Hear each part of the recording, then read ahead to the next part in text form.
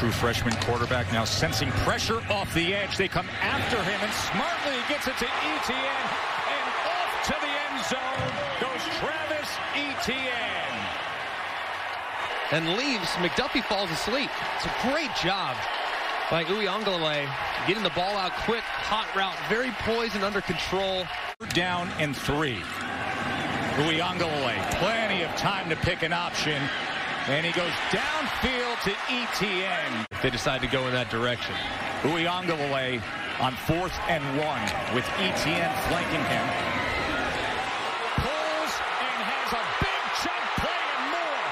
Touchdown, Tigers. Clemson mounts their comeback. Just a zone read. You see the end man on the line of scrimmage crash, chase, chase Etienne. And Uiagalelei is out the gate. Uiagalelei on second and eight. That big arm and in stride Etienne. And look at him go for more.